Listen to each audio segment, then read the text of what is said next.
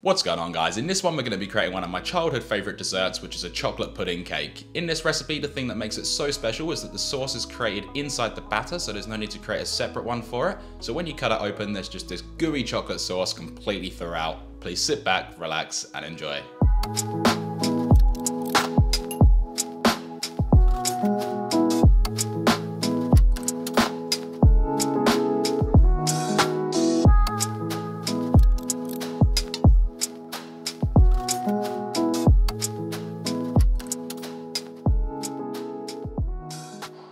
Alright guys, starting us off, let's add 150 grams or 5.2 ounces of plain all-purpose flour to a mixing bowl along with 165 grams or 5.8 ounces of caster or fine sugar, 20 grams or 0.7 ounces of dark cocoa powder, 8 grams or 0.3 ounces of baking powder, which is not baking soda, so please don't use that, and 2.5 grams or 0.1 ounces of sea salt flakes. Give this a whisk to combine, and for a quick rundown, the flour provides structure, the sugar obviously for sweetness, but also provides fermentable solids, the cocoa powder allows for that chocolate flavour and colour, the baking powder contains both the sodium bicarbonate and acid needed for the cake to rise, and finally the sea salt flakes will enhance the flavour which will leave us salivating.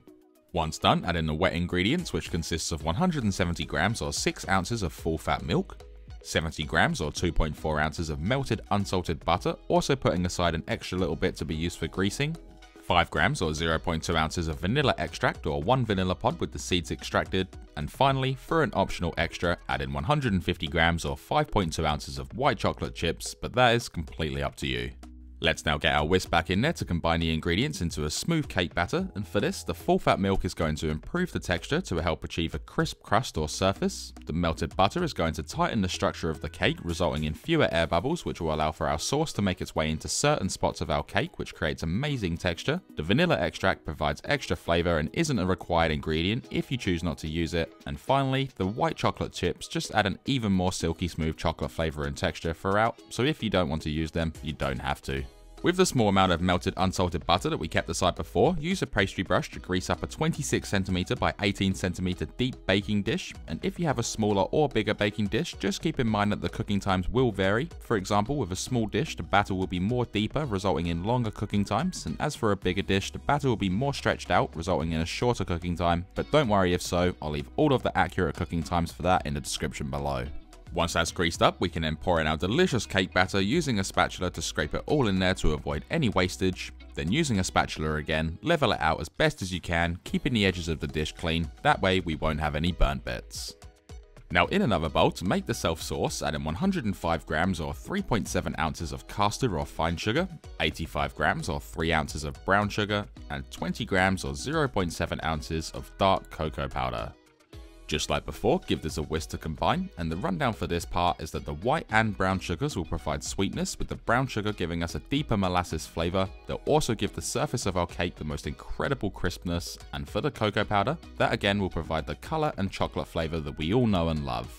This can now be tipped onto the top of our cake batter, distributing it evenly if you can, but it doesn't matter too much because we then want to evenly spread it out with the back of a spoon, completely coating only the surface. Also, don't mix it in or push it down as this is what will create our sauce and allow it to flow throughout our cake. For the last ingredient, we're going to need boiling water, and to achieve this, I'm using the multi-temperature Bodum Bistro kettle, which has 5 different temperature settings, to which I'm going to measure out 310 milliliters or 310 grams of boiling water, using the Bodum Bistro Barista scale, pouring the water into Bodum's 350 milliliter spare beaker glass. If you're interested in any of these products, I've fortunately partnered with Bodum to show off their products, which are genuinely amazing with all of the links in the description below. And if you wish to purchase something, it greatly helps me out as a creator to continue making these videos and getting these opportunities. And I'd also like to throw out that I'm not a sellout and 100% back Bodum's products, they are truly incredible. Now going back into it, carefully and gently pour the boiling water over the entire cake, evenly distributing it as best as possible and for this step, please do not stir or mix it through as the water will work with the mix we made in the previous step to create a sauce which will flow throughout our cake. This can now be taken over to a preheated oven set to 180 degrees Celsius or 350 degrees Fahrenheit,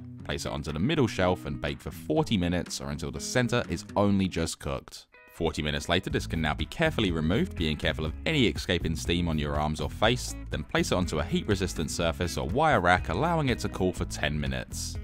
Once cool, let's then scoop our portions out or wait for it to firm up in the fridge to make it a lot more tidy and neat, but for a dessert like this, I think presentation can kind of be shoved under the rug a little bit. As being a self-saucing cake, it tends to get a little messy unless it's something like a chocolate lava cake which is a lot more compact. To serve this up, place the delicious chocolatey pudding into a bowl or on a plate, whatever you're into, keeping in mind that this is really hot so maybe don't use your hands kind of like what I'm doing here. You really can serve this up with all of your favourite toppings, but I do think a couple of scoops of ice cream are in order for this awesome hot and cold combination, and of course, top it with that silky smooth chocolate sauce. I'm personally adding over a few sliced strawberries for a nice freshness, but like I said, add whatever you like, and to add that finishing touch, dust over some icing sugar which really makes that amazing pudding stand out. This then leaves us with this easy, quick, and incredibly tasty self-saucing chocolate pudding cake, which leaves us with the part to make this all worthwhile, and that is we can then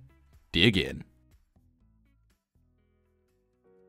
So there we have it. This recipe right here serves 4 to 6 people and that's not 46 people and it can easily be doubled, tripled and so on or halved if you wanted to make less. To store it, you can place it in the fridge in an airtight container for up to one week or in the freezer in an airtight container for up to six months. And to reheat it, place it back in the oven on 180 degrees Celsius or 350 degrees Fahrenheit and just heat it up till it's nice and hot. Or you can place it in the microwave, just do whatever's easiest for you. If you enjoyed this video, be sure to smash that like button, comment, share, do all of that stuff. It really does help my channel out and consider subscribing along with hitting that bell notification next to it so you never miss when I upload. Thanks for watching everyone, stay safe and enjoy.